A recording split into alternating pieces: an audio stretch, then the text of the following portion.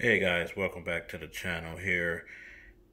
Gonna do an unboxing of a Vivitar Stars and Beyond telescope here.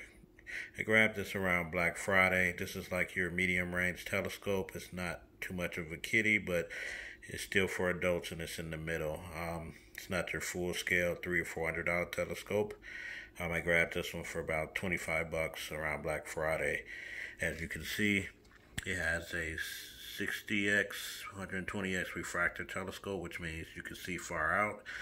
Um, I was letting you know with the moon, with the 60, you can see close, and 120, you can possibly see the surface. And here is just some of the details here. Interchangeable 60 times, 120 times eyepiece lens, a three times finder scope, and a full-size adjustable tripod here. So let's flip this around on the back and see what else is in the box. Okay, as you can see on the box, it's the picture of the package contents. How's that? You know, the refractor telescope, 60 times, 120 times eyepiece, mirrored eyepiece, quick screw for assembly. Just giving you an example of what you could possibly see. Um, here are some more of the features here. Interchangeable lenses, three times finder, lightweight, durable, full adjustable tripod, mirror diagonal eyepiece, quick view, and great for seeing stars. And planets here.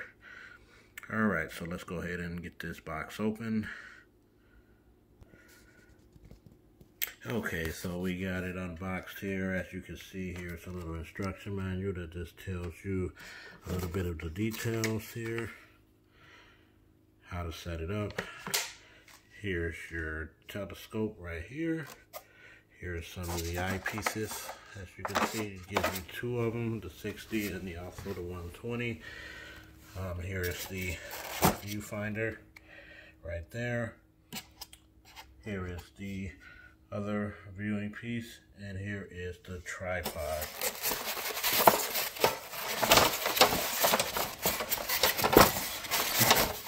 Okay, so as we pull this out here, as you can see, um, made of aluminum. It's, it's sturdy enough to be actually do what it needs to do, which is hold the telescope up and actually view what you need to view. So we're going to pull the actual Vivitar out. As you can see, that's where it screws in at. Here's the protector for the actual lens. And here is the other piece where, depending on what you want to go to, 60 or 120 will actually go there.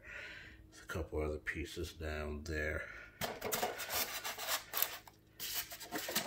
And here's the other piece for the viewfinder, which goes on top here. So these are all the pieces that's in the box. So let's go ahead and get this together and see what the final view may look like. Alright guys, so we got it unboxed here. As you can see, everything is all set up. And just kind of review um, just out the bat.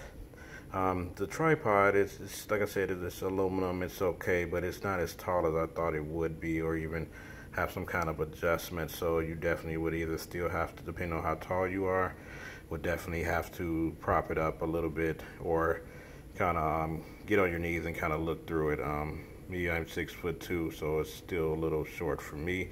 But as you can see, everything is uh, connected here. The refractor lens, and as you can see, as I look outside, go Bears, and at the nighttime, I'll be able to, on a clear night, definitely have a good view of the stars outside. So, just wanted to give you my review and my impressions on it. Um, what I can see, I can still see pretty far. You know, uh, kind of foresty backyard for me, so I can still see kind of far animals, deers, things like that. But in the nighttime skies is what I'm looking forward to. So this is just the unboxing and the first initial review. As I uh, get ready to wrap this up, guys, subscribe. Thanks for watching and look forward for the next video of reviewing it in the nighttime sky. Hopefully we can get some good views. Thanks for watching.